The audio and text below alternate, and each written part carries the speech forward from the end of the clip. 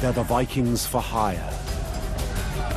Ruthless mercenaries who strike fear into the enemy. This is Dark Age warfare at the most brutal.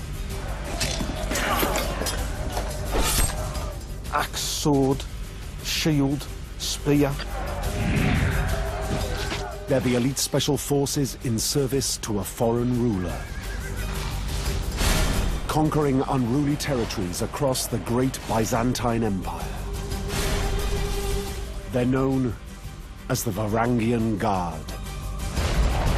But it's one particular man who will solidify their place in history. Harold Hardrada is the prototypical Viking of the era. He will develop tactics which will transform warfare across the Mediterranean. Nobody really in their right mind wanted to storm a city wall. It was usually doomed to failure. Hardrada's string of victories will show the Varangian Guard to be one of the most exceptional special forces of all times.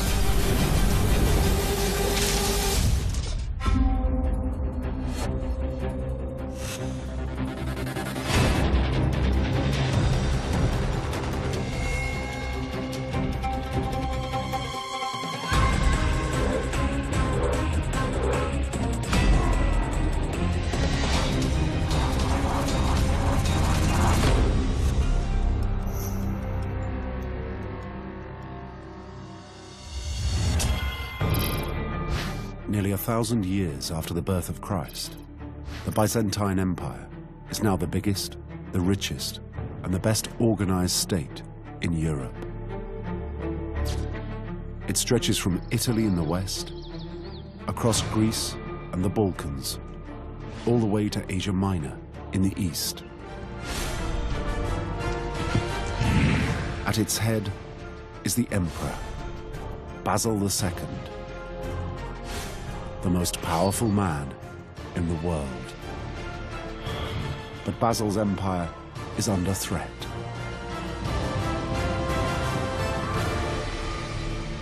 Like all empires, and I suppose like all politicians, you really have to watch your, your back.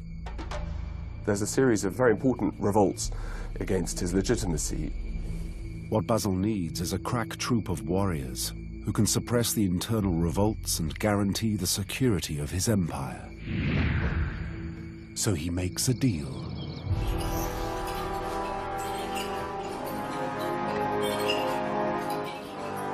He sells his sister to the Grand Prince of Kiev in Ukraine, Vladimir the Great. Vladimir is descended from Swedish Vikings and rules what are called the Rus. Vladimir the Great was a disgusting warrior. He was the prototypical Viking. He epitomized everything that was just nasty in the individual.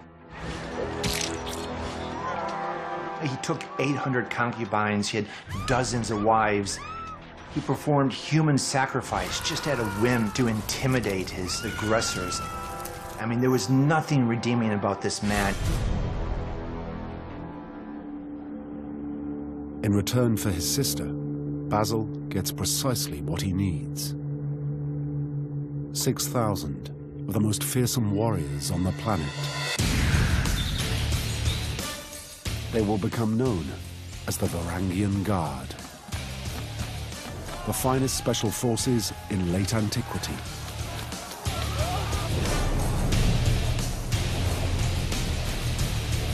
Originally Vikings from Scandinavia, their ancestors had built a reputation that spread right across Europe to the ears of the emperor himself. Most of them would have been the same kind of people who were creating mayhem around in Western Europe. When we talk about the Vikings, we almost always think about the attacks on England and the Vikings crossing the North Sea. For some 200 years, Vikings had been terrorizing northern and western Europe, becoming notorious for chasing wealth and their insatiable appetite for violence.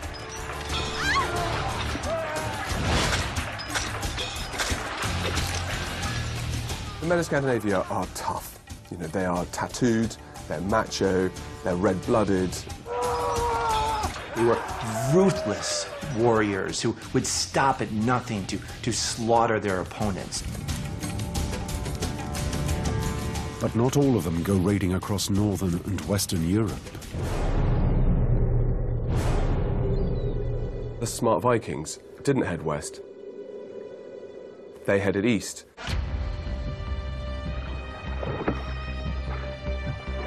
What lures them is the prospect of making vast amounts of money by traveling down the vast rivers of modern-day Russia. Those river systems, they're like arteries bringing talent from Scandinavia down towards Russia, looking for service. They can sell themselves as soldiers of fortune, mercenaries to the mighty warlords of the region. Like the Vikings who've wreaked havoc across much of Europe, they come with a fearsome array of weapons.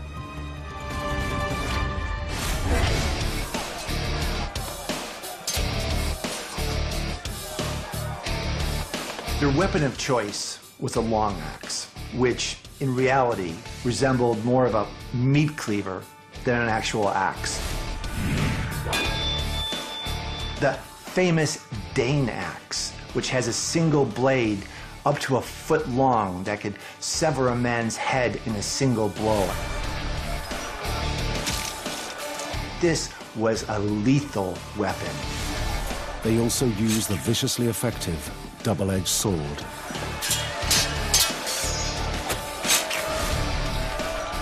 And the spear. The spear is uh, very easy to carry, doesn't weigh much. It's very cheap to make and very fast to make, so it would be uh, an excellent weapon.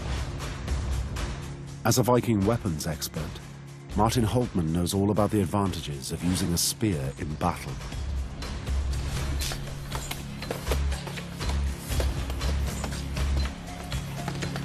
Spear was very useful.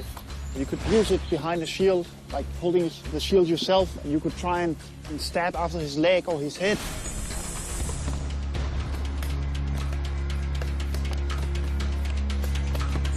You could have no shield, and uh, if he was my friend, I could stand behind the lines, and he was covering me. I was having this long spear, I could just stab the people. And move around, stab, move around, step behind the line.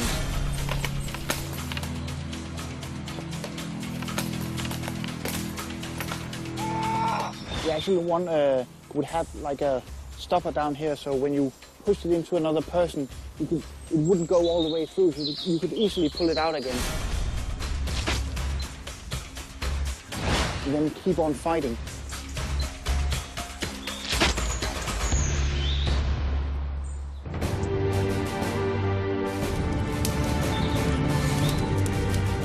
These Viking Rus become known as the Varangians. They earn that nickname because they famously stick together. Verar is an Old Norse word which means uh, probably some sort of companionship, and it's a sort of community of people with common interests. They're people who look after each other's backs. It's a very brutal, male, macho world of, of high achievers. These are men who have their eyes set on prestige and on riches.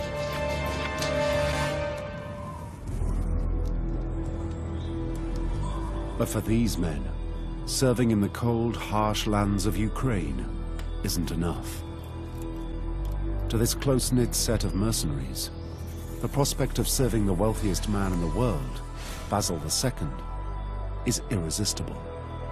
In Constantinople, they have the opportunity to gain riches beyond their wildest imagination.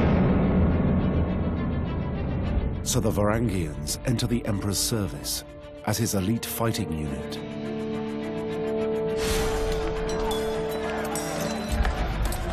And begin by crushing his internal revolts. He had a basic problem with a, a rebellion against him, uh, led by a man called Bardas Phocas, who had claimed the throne, set himself up as emperor, and his own Greek bodyguard had gone over onto his side. So he needed some troops he could rely on in order to put down this internal rebellion. In a matter of months, Basil is able to knock out uh, his last remaining rivals. For Basil, it's a short-term win. Having helped Basil secure the wider empire, the Varangian Guard are given the next task, to deal with the imperial capital.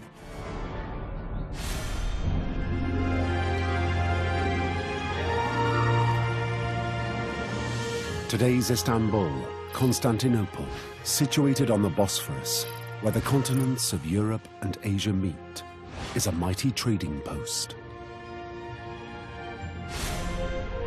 But in the 11th century, its magnificence is without equal.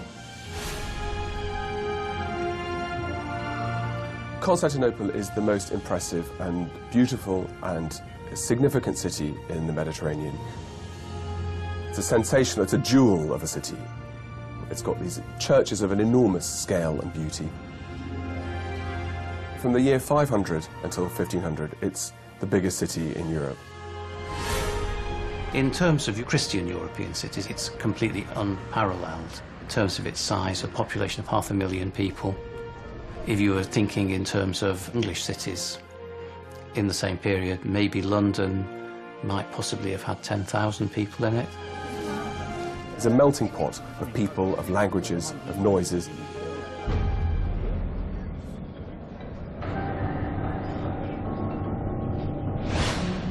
Constantinople is also a dangerous place, particularly for an emperor. We don't talk about Byzantine politics for nothing. The Byzantine Empire is legendary for its sort of devious plotting. While pleasantly chaotic and colorful on the outside, beneath that veneer, the city was a labyrinth of political power shifts and maneuvers that made everyone suspicious of everyone else. Those who are finding the emperor's favor quickly attract jealousy. Those who feel that they should be getting more for what they're doing uh, find themselves sitting in dark, dark taverns plotting about what they can do next. Everyone's doing deals, keeping their friends closer, their enemies twice as close.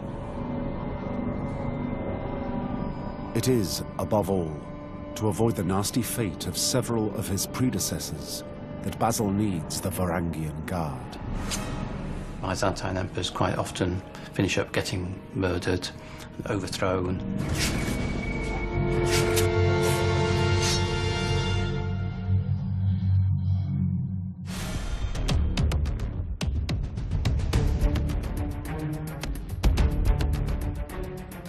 So the Varangian Guard become Basil II's close protection team.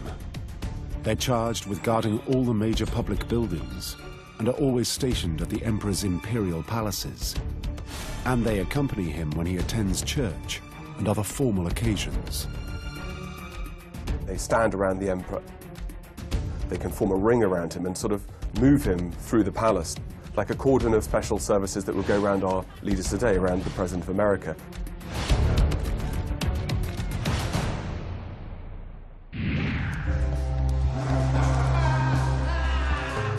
But the Varangian Guard have another more sinister task.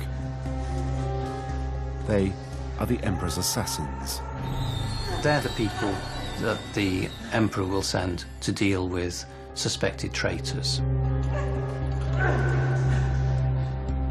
They also get to do the nasty stuff. They become Basil's secret police, in charge of arresting suspected criminals and political enemies. Those posted at Constantinople's grim Numera prison quickly win a reputation for astonishing savagery.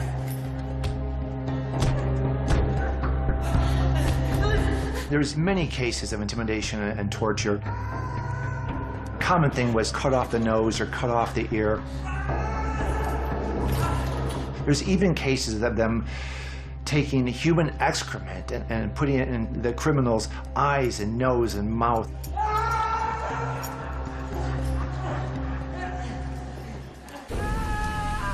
Blindings are a particular Varangian favorite. It's not thought that they actually physically put eyes out by poking things into them or, or hooking eyes out. It's, it's thought that they actually used acid. And they used it to scar the cornea. So that people were, in a sense, functionally blinded by it, but not not 100% blinded. They could probably still tell the difference between night and day. Castration was, was quite a popular Byzantine punishment. So no doubt if that had to be done, they would probably be the guys who would uh, get the old shears out.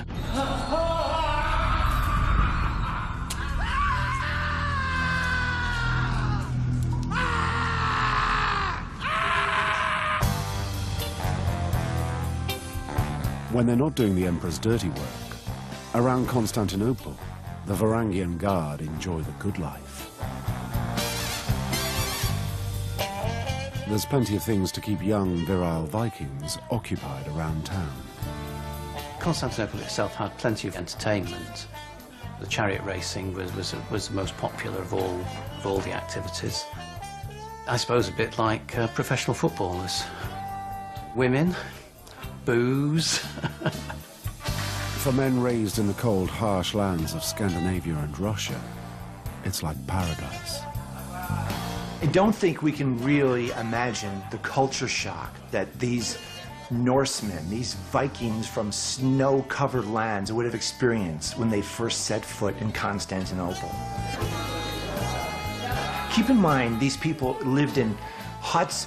Now they come into a lush tropical climate, and much to their delight, an endless supply of fine wines.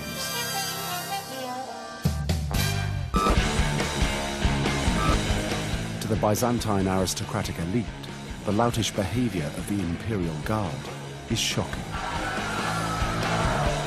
The Varangians' hard drinking and debauchery earns them the nickname the Emperor's Wineskins. The Guard were looked at suspiciously by the local common people in Constantinople, and you can't blame them. They were drunk 24-7. I mean, they were rowdy. There's a famous historian and poet who was put in prison, and he writes a poem about the fact that he can't sleep at night, every night, because these guys are screaming and yelling and causing incredible ruckus.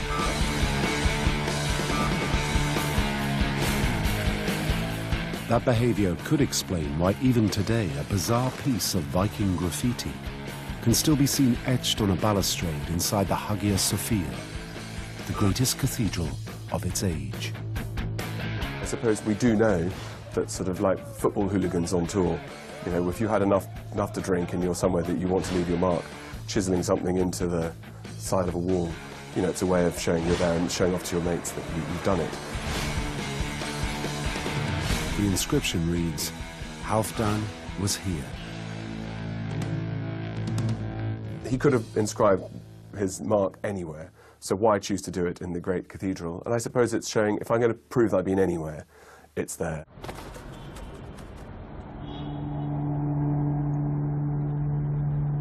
Basil II's Varangian Guard may be causing mayhem around Constantinople, but he has another task for them. Now he's stabilized the empire, he wants to expand it.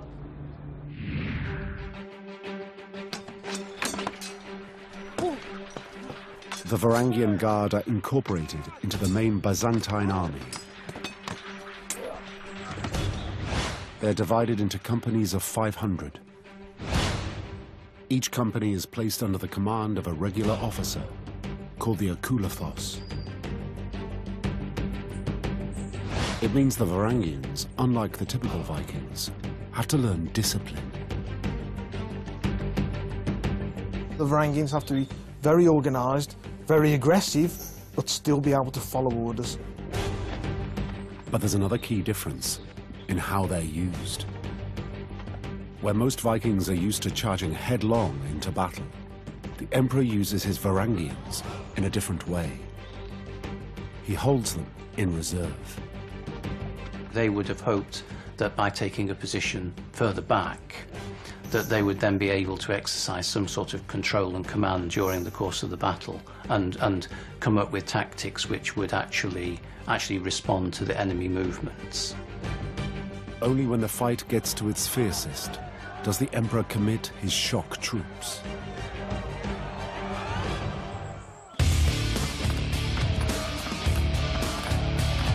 They start by banging their shields. Then they charge.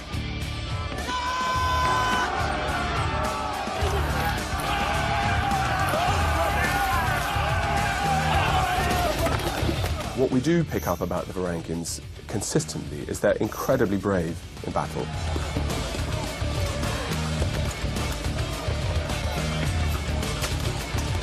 So they never give ground, that they always fight for each other, and their intensity um, is, is huge, that they just carry on fighting.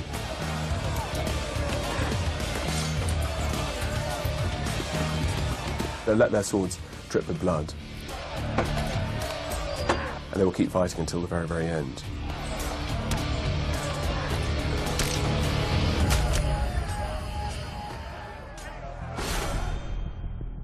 The Varangians aren't just fierce, they are tactical.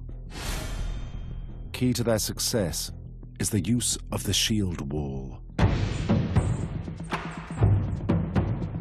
This was essentially shields interlocked. It could be used as an, a, a defensive against cavalry, archers, infantry. You have to imagine that, that several people were standing like this and they were interlocking the shields like this. This way it was a very, very strong formation and you could actually move forward like this. But the Varangian Guard's shield wall is about more than protection. They deploy a unique Viking tactic to pierce enemy defenses. The boar snout.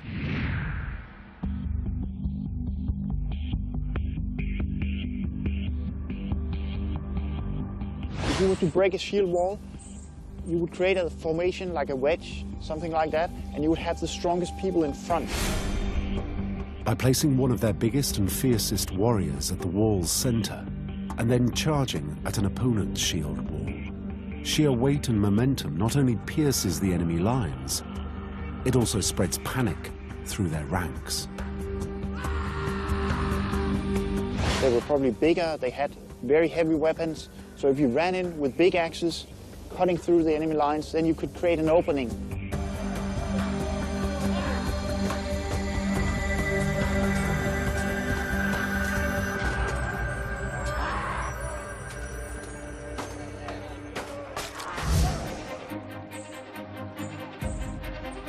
Under the banner of Emperor Basil II, success follows success for the Varangian Guard.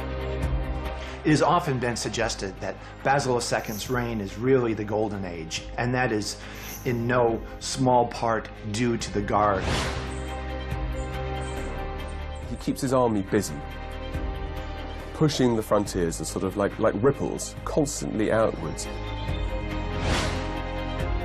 They fight gallantly and gloriously for their emperor and are at the forefront of a string of victories in Syria, Georgia, Armenia, Bulgaria, Greece, Macedonia, and southern Italy, not only quashing unruly factions of the empire, but increasing its influence far and wide.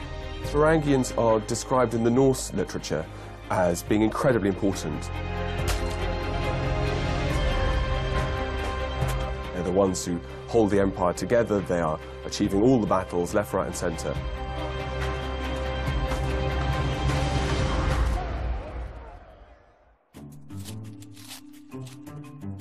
Victory makes the Varangian Guard very rich men. You would be paid between 17,000 and about 32,000 pounds a year. If our Varangian had wanted to have a, a, a, nice, pretty young virgin slave girl all for himself, he could have gone down the slave market and bought one for about 360 pounds. So even the basic lowest estimate of their pay has got absolutely enormous purchasing power in Constantinople. On top of their monthly wage, the Varangian Guard receive regular bonuses and a third of all battle spoils. And there are even more perks.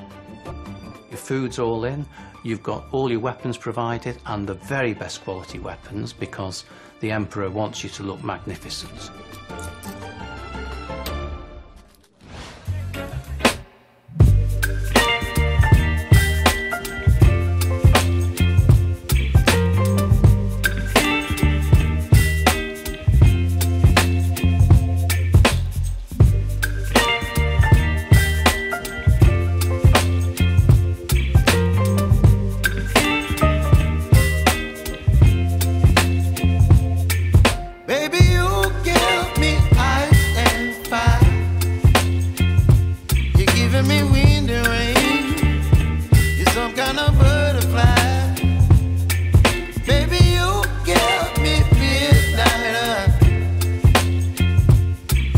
My appetite.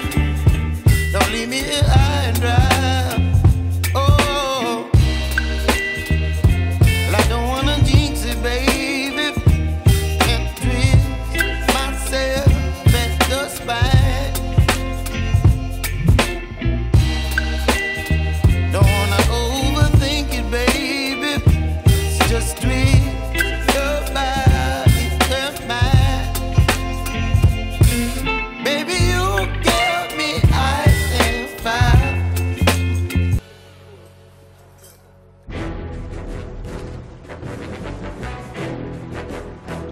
Early years of the 11th century, more and more Viking mercenaries are ready to join the club. The success they had proved to be the greatest recruitment vehicle they could ever ask for. The young men of Scandinavia that heading for Constantinople was almost like a sort of quite a glamorous gap year where you'd go and earn your spurs. You'd go and see the world, you'd be exposed to sights and sounds that you'd never seen before. You'd be able to be a military tough type and show off your tattoos and your, your prowess. The basic idea is if you're loyal, if you're good, you can, you can, you can earn your keep and you can rise up through the system.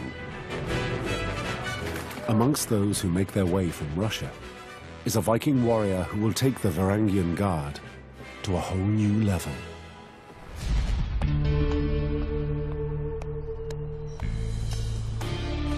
Towering over six feet tall, the muscular young man with his long, fair hair cuts a striking figure. His name is Harold Hardrada. Harold Hardrada is the prototypical Viking of the era. He is a rock star. He's the pin-up boy of the Varangian period. Hardrada has been fighting since the age of 15, when he witnessed the death of his brother, King Olaf, at the hands of insurgents in Norway. Olaf is actually killed in the battle by the rebels, and Harold actually sees this. It's not just his half brother, the king, it's also the man who he looks up to. This is ingrained in his memory. That battle changes his life. Exiled from Norway, Harold escapes to Sweden and travels on to the safe haven of Kiev, the home of the Viking Rus. There, he's recruited as a mercenary by Kiev's new ruler, Prince Yaroslav I, the son of Vladimir the Great. And he quickly proves himself. He finds his skills and his service highly valued by Yaroslav, who identifies in Harold a brave, highly capable, well-connected and ambitious man who has a chip on his shoulder. He's a man who really feels the grievances of having been excluded from power by men who he thinks are less worthy than he is.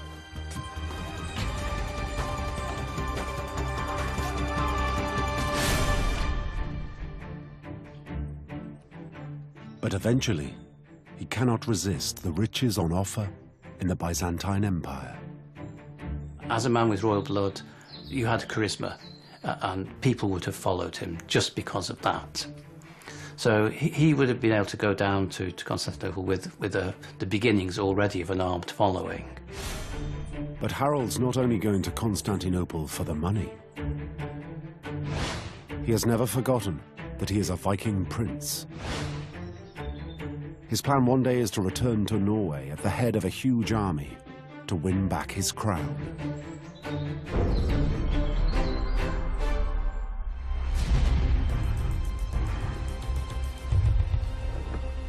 So around 1033 AD, Harold and his men embark on the year-long voyage down the Russian river systems with the aim of entering the Emperor's Guard. They arrive at just the right time.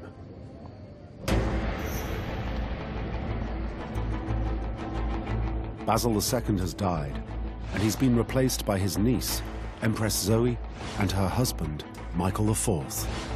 The new rulers are under pressure and need to establish their authority. Harold is just what they need. He's reliable, he is effective, he gets things done, he's smart, and he's a good one to have on your side. He's so much better than the rest. And he has practice. He participated in the most brutal battles. So he, he learned what was necessary to win, which was maiming, torturing, creating alliances and truces, and then breaking them. He would do whatever it took to be victorious. Fighting in the Varangian Guard across the Empire, Harold makes his mark.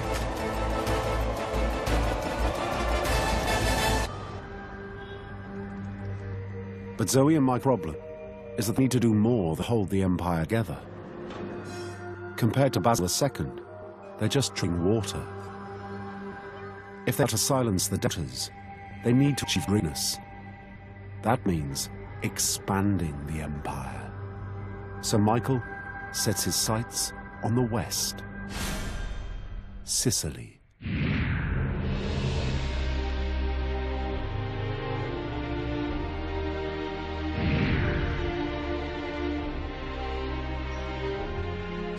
The objective of Sicily is to regain the western provinces for the Byzantine Empire. For centuries, Sicily had been under Byzantine rule. Sicily is the wheel on which the Mediterranean turns. It's a great meeting point between the Islamic and the Greek and the Latin world.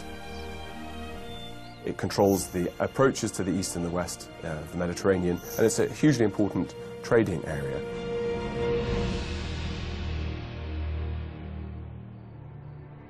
But now the island is in Arab hands. Sicily is very strategically important. It must be captured. If you want to control shipping in the Western Mediterranean, Sicily is key. And for the Byzantine, trade is key. And also as well for the prestige of the empire. It's better to be conquering and capturing rather than being defeated and losing.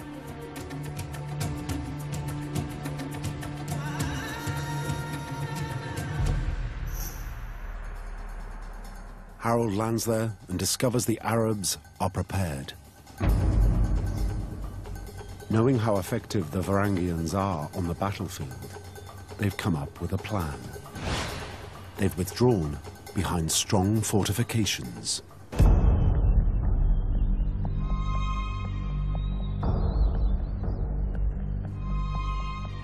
From a military point of view, this is a very hard place to conquer. The cities are well established, well fortified, big walls, ditches in many cases, and a citadel that can hold out for, for a long time.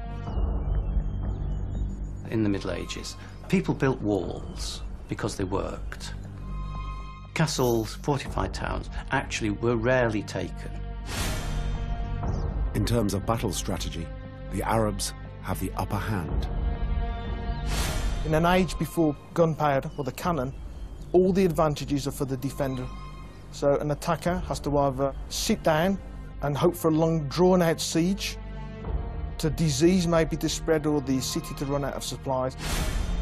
Nobody really in their right mind wanted to storm a city wall with people up there chucking boulders and pouring boiling water and throwing spears and things at you. It was absolutely fraught with, with risks and almost usually doomed to failure.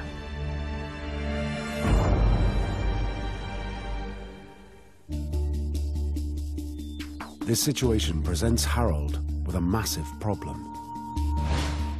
Classic Varangian tactics, like the boar snout, are no use against a solid wall.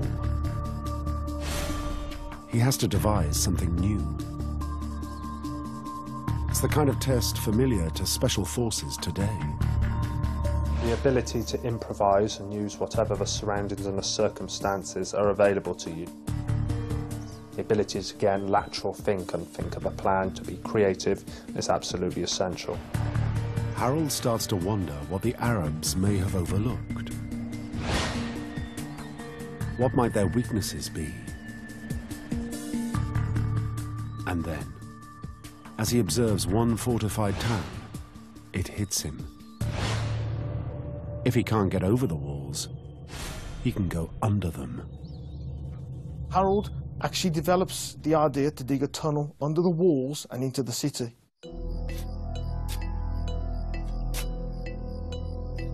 Out of the view of the town's walls, Harold chooses a spot close to a river, and his Varangian guard get to work. It, rather than having big heaps of soil lying around which would give the game away, they scattered it into a stream so the stream washed it away to destroy all the evidence.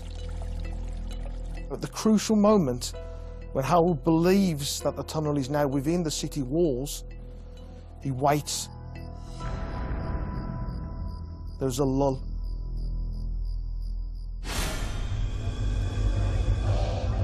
What the Varangians are waiting for is the perfect moment to catch their enemy unawares. In this case, it's dinner. You have all the, the local Saracens eating and drinking and just doing what they do all the time because they know that these people can never penetrate their castle. According to Harold's Norse saga, while the Arabs are enjoying their evening meal, he and his men emerge through the limestone floor of the great banqueting hall.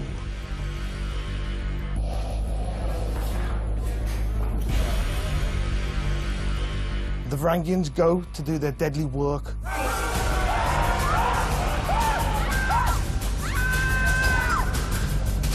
Defenders are completely shocked. These uninvited wolves have now entered their city.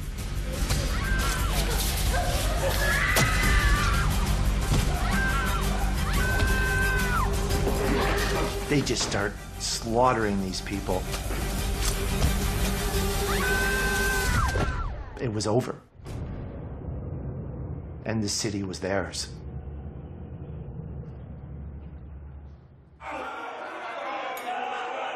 It's one of a string of astonishing victories.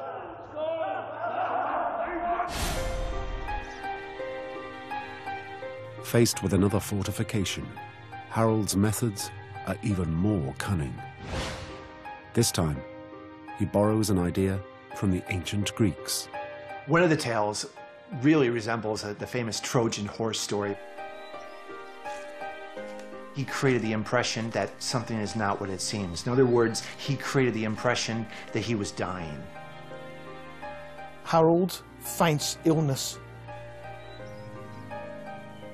Places his tent further away from the main Byzantine camp so the defenders of the city can see. To and fro, soldiers go into the tent. Now, this game Harold's playing works quite well. The Arab defenders, confused as to why no attacks have been made on their city, even send their own spies out to investigate. They learn that Harold is dead.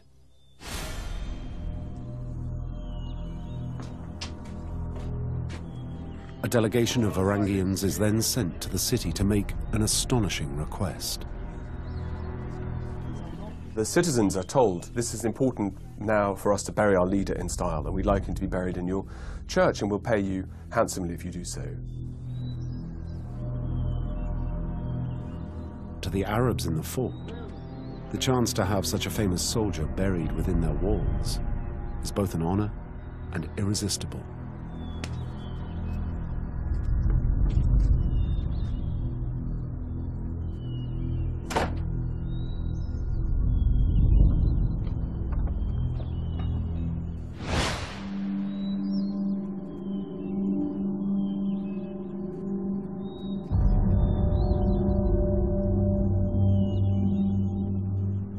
Varangians transport the coffin under a religious ceremony with priests and other people from the city.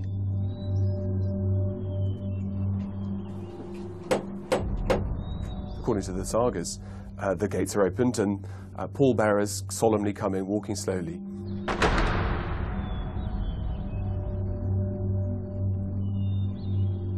They put the coffin on the floor and jam the gates open with it.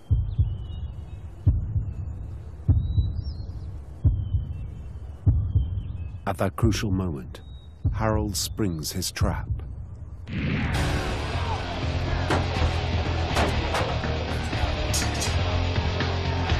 Varangian guardsmen pull out their weapons from under their ceremonial clothing.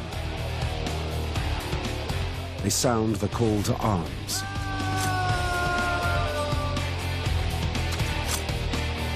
Hell breaks loose. The Vikings absolutely destroy everyone. It turns into a massacre.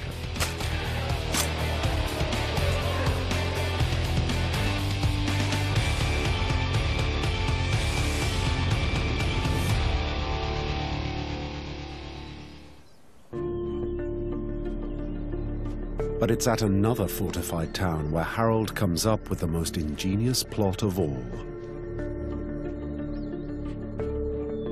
Harold's laid siege to the town, with no luck. Once again, he faces a heavily defended fort, with thick and very high stone walls. Worse, the Arab enemy are well supplied. There's no chance of starving them out. Harold once again needs to use brains rather than brawn. He just sits for days and observes. Any intelligence you can garner to, you know, assist any assault is, you know, it's essential.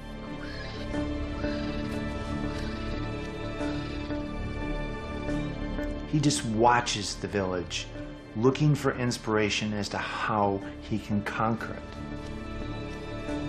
You know, any good surveillance or reconnaissance is always looking for weaknesses or strongly established routines.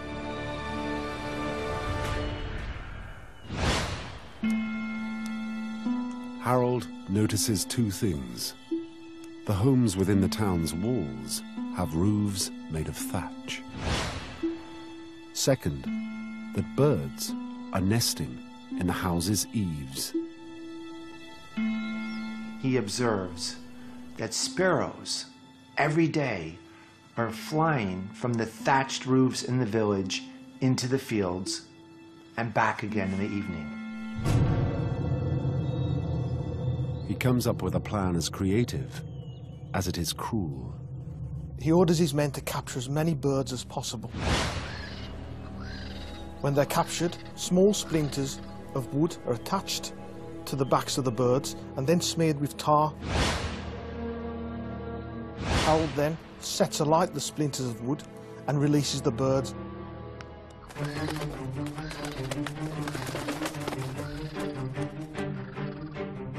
Burning, the birds fly back inside the walls to their nests in the straw eaves.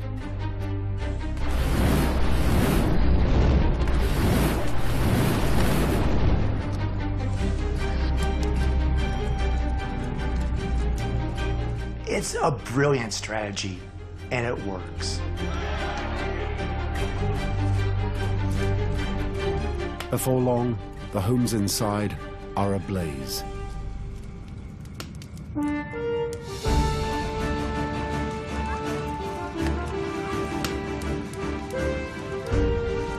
Just as Harold had planned, the Arab inhabitants come pouring out and give up without a fight.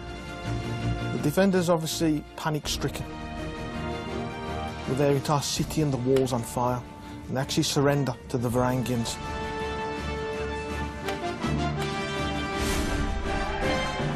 Harold, magnanimous in victory, apparently spares the lives of the townspeople. Sicily is a great triumph for Harold and his Varangians. They prove themselves to be more than axe-wielding thugs. They have become master tacticians as well. Harold's success is the high point for the Varangian Guard and places them among the finest special forces of their age.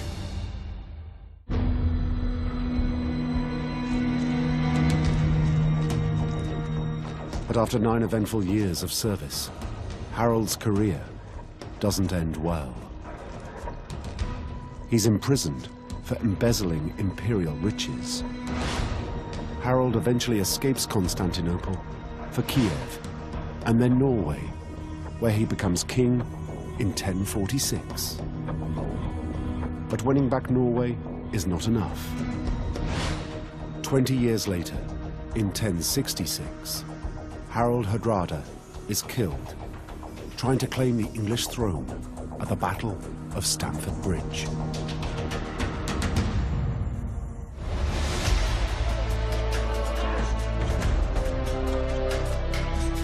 Without Harold Hardrada, the Varangian Guard continues to fight, but never reaches the same heights.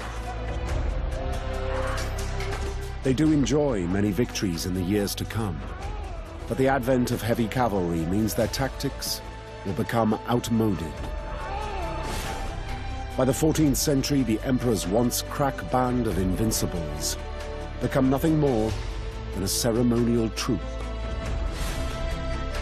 However, it's those glory years under Harold Hardrada and Basil II that have ensured that the Varangian Guard are remembered as one of the most devastating and successful special forces in history. There is something, I think, that shines out of enterprise and adventure in these people leaving their homes so far away in the north. These Varangians are pioneers. You know, they're explorers. They're men who open up horizons. The Guard will not be remembered as just mere mercenaries, but rather a noble tradition of warriors who combined brains with brawn and pride and a desire to do whatever it takes to be victorious.